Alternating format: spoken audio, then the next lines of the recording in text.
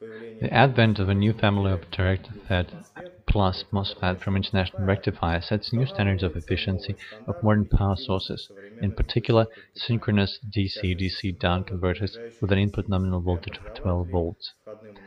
As compared to the transistors in the direct FET case of previous generators, the first two members of a new family, IRF6811S and IRF6894M, had reduced resistance of the open channel and the gate charge, which greatly increases the efficiency of the converter.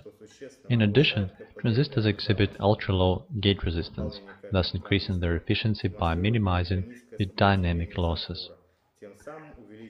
Managing MOSFET IRF6811S is available in a small case or small can, while synchronous MOSFET IRF6894M with a built-in Schottky diode is proposed in the case of a medium-size medium can. The transistors are designed for the voltage of 25 volts.